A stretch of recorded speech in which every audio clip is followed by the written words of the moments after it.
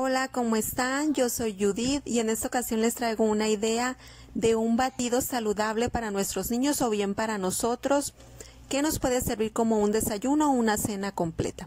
Vamos a ocupar hojuelas de avena totalmente naturales. Les recomiendo que no utilicen avenas que traigan agregados saborizantes o que tengan azúcares añadidos. Yo utilizo este tipo de hojuelas de avena totalmente naturales, las pueden encontrar en cualquier supermercado o en cualquier tienda orgánica. Vamos a ocupar una cucharada de linaza, que la linaza va a aportar fibra a nuestro batido. Yo utilizo esa linaza molida. Vamos a ocupar fruta, en esta ocasión vamos a agregar fresas. Yo utilizo estas fresas congeladas, pero pueden utilizar fresas frescas o sustituir por una banana. Vamos a ocupar también para nuestro batido leche, la leche de su preferencia y vamos a ocupar cacahuate para agregarle grasas saludables a nuestro batido y que les proporcionen energía al día de nuestros niños.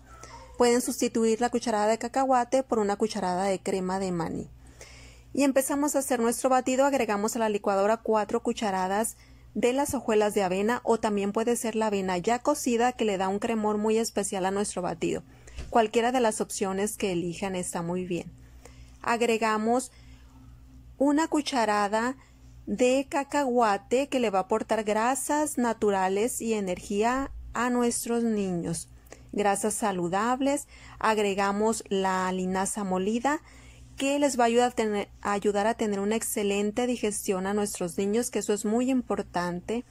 Y vamos a agregar 5 a 6 fresas o bien pueden sustituir, como les comentaba, por un plátano.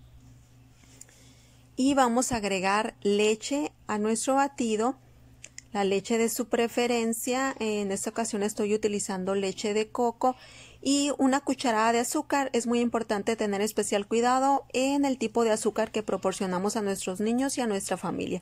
Yo utilizo este azúcar mascabado 100% natural o pueden agregar dátil o piloncillo para evitar las azúcares refinadas y dañinas.